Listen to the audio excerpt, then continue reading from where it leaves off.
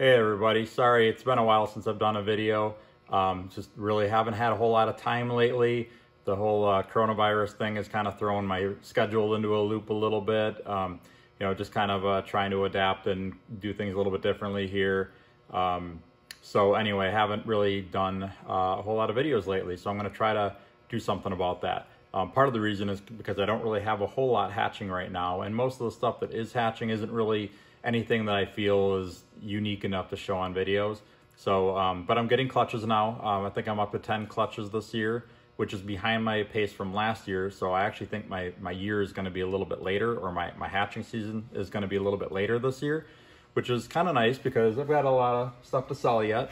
So, um, you know, having uh, a little bit more time before I get a big influx of new babies will definitely be a good thing. So um, I was trying to think, I actually lay awake in bed for a while last night trying to think what can I do a video on, what would be different, something I haven't shown a whole lot of, and uh, actually I couldn't really come up with a whole lot. So, um, but one thing I did want to show is an update on some toffee projects.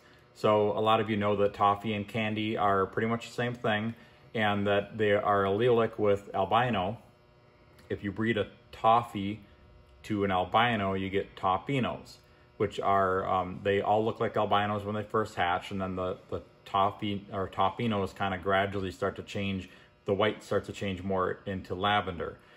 And the toffees, the pure toffees or candies, um, they look like albinos basically when they hatch too, but they start changing lavender really quickly and they get much darker. So anyway, I just thought I'd show you uh, some uh, updated, some new combos that I've done with them and uh, some updated um, you know, updated video with a few of them as well. So this first one here, this is a pure toffee. Like I said, toffee and candy, in my opinion, are the exact same thing.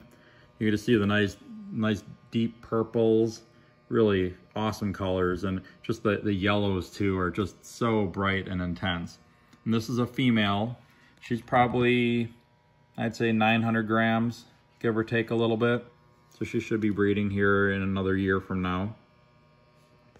So that's just what a normal toffee looks like at that size. Like I said, when she hatched, she, she looked pretty much like a regular albino. Maybe with the, the toffees, you can see just a very slight hint of lavender or purple in them when they hatch, but they mostly look, look like regular albinos. And the problem with the toffees, toffinos, and albinos, when you're breeding, uh, pairing them when you could get all three combos in there, it sometimes takes a few months to really figure out what each baby is. So, you know, you have to wait until they start to change colors. The ones that start to change really quickly are and, and get the darkest purples are the toffees. Ones that are moderately lavender looking are toffinos, and then the ones that are white, of course, are albinos. So I'm going to show you a couple different combos with the toffee gene.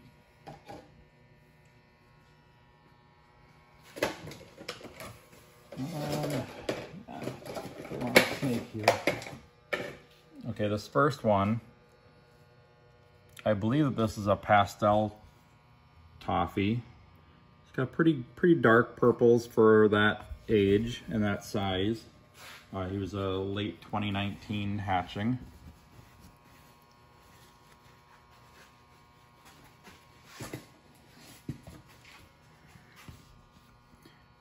Just really, really like this gene. Um, I just think it looks so unique.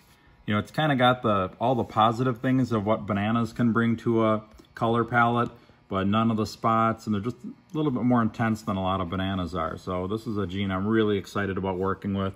Um, hoping to produce a lot of different um, combos with that, with this, including like pied and clown, and just trying to get it into as many different things as I can.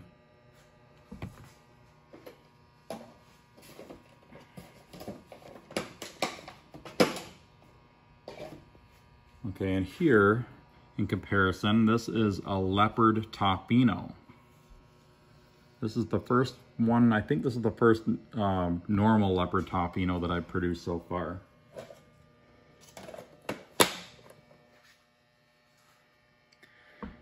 The leopard gives itself away by the head scalation. A lot of the albino leopards and toffino leopards and things like that they tend to have really bold head scales. You can really see the outlining between each scale. I don't know why, it's just something I kind of noticed with those over the years. So this guy is getting fairly dark. Um, now he's just a Toffino, not a Toffee, so he's not going to get as dark as that pastel Toffee that I had out. But I really like the way albino leopards look, and I thought that the the uh, um, Toffino leopard would be really cool too. And in my opinion, that's a really really cool snake. Another um, thing, another way that you can tell um, a toffino or Toffee from an albino when they're young is that the albino's uh, eyes are normally like a lighter red kind of a pink. And the toffino and Toffee eyes tend to be a little bit darker with the, the pure Toffee eyes being the darkest out of all of them. So it helps to be have a group of them to look at and sometimes you can kind of tell by the eye color.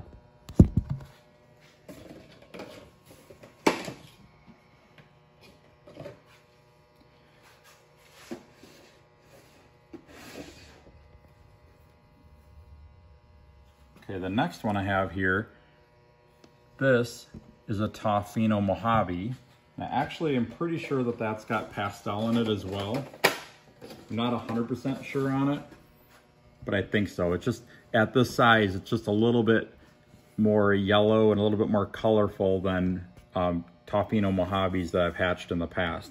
I've been producing Toffino Mojaves for several years right now, or several years, and uh, right now I'm actually breeding Toffino Mojave to Toffino Mojave to produce uh, red-eyed super Mojaves that'll have nice deep ruby colored eyes.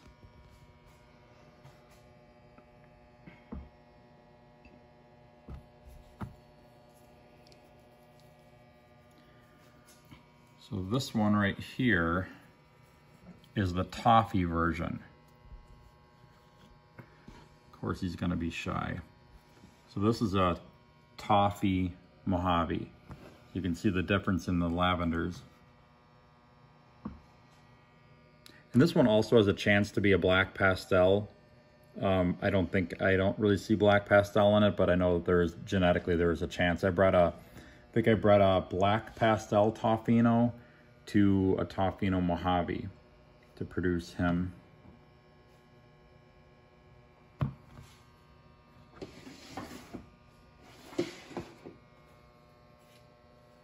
Okay, speaking of black pastel Toffinos, that would be this guy right here.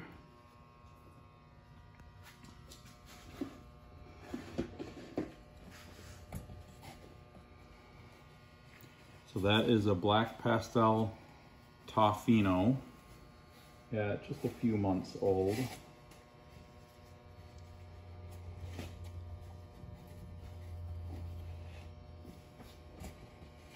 That's one of my favorite Toffino combos because this is what it looks like as a subadult. This is a female here. She'll be breeding here this fall. Look at the way that, that lavender color develops over time.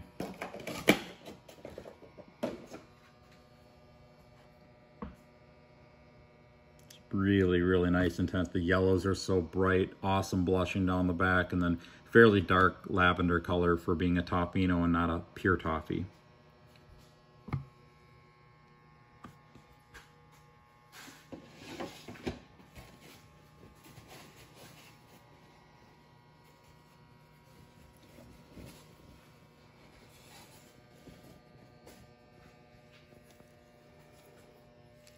Okay, and then this guy right here, girl actually, I believe that this is a um, leopard Mojave Toffino.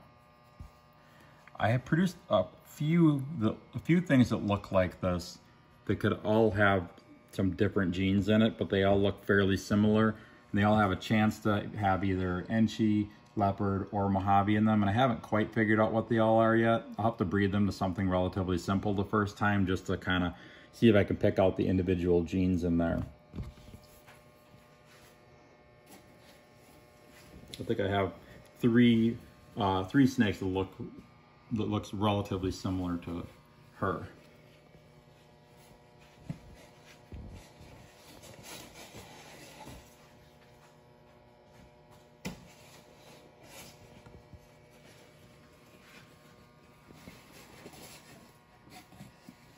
Okay, now this one, look at the contrast with this.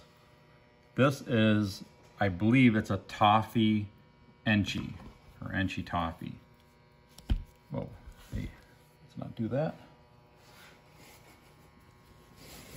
So that snake is by far the most intense yellow and orange um, combo that I've produced so far with uh, the toffee gene.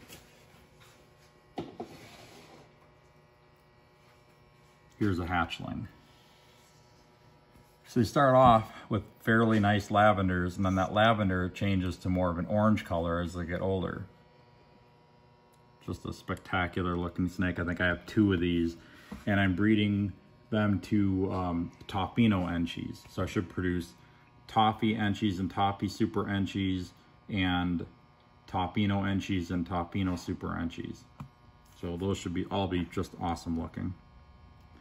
I have one more snake that I want to show you here, so we'll let you look at those for just a second or two.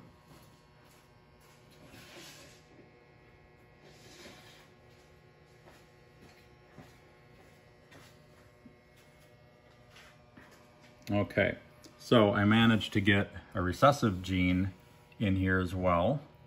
This is a Toffino Enchi Clown. And he's younger than these two by a little bit, but he's starting to get some lavenders where the white should be. I've got an albino Enchi Clown too. I actually scratched the Enchi part of that. I'm not sure that there's Enchi in this one, but here's a here's an albino clown. And you can even tell, I mean, just look at the eye colors, the difference. And then, you know, this one's got white. There's some yellow bleeding into the white on this one now. But look at the nice lavenders in that.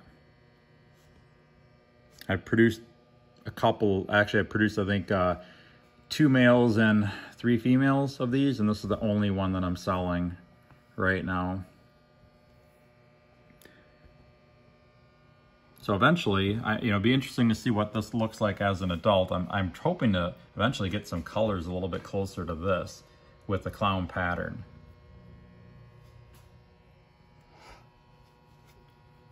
But we'll see.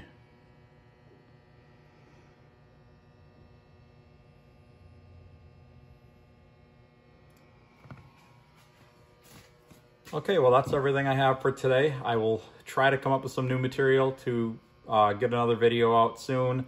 I'm just hoping to kind of figure out my schedule a little bit better so I can free up a little bit more time. Uh, this is a lot of snakes to feed and, and, water and everything, so I have to unfortunately do videos if I have spare time after doing all that.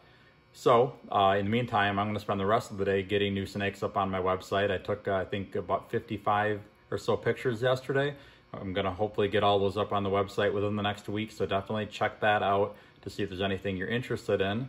Uh, my website is royalconstrictordesigns.com, and I do have a sale running on for a few more days yet. Um, it's my COVID-19 sale, the one that I uh, set up after uh, missing out on the NARBC. Um, wanted to generate some sales to uh, to move out some more animals, so decided to have a 19% off sale, and there's free shipping if you order if your order is over $500. So that's to end, it's supposed to end on April 1st. Uh, I'm not 100% sure I might extend it a little bit yet, but uh, definitely check out my website uh, to see if there's anything that you're interested in. So far, so good with FedEx. I've been shipping a ton out. It's actually been really, really busy. Uh, over the past couple of weeks, I've shipped out, I think it's uh, like 23 or 24 boxes this last week. So, uh, so far, so good with FedEx. They're shipping normally and hopefully that'll continue. So as of today, which is uh, um, what is it, March 26th, um, I'm going to be uh, you know still shipping. So uh, hopefully the weather will stay good. FedEx will keep moving everything along really well, and I can get your snakes to you right away. So check out my website, royalconstrictordesigns.com, and I will be back very soon with another video, I promise.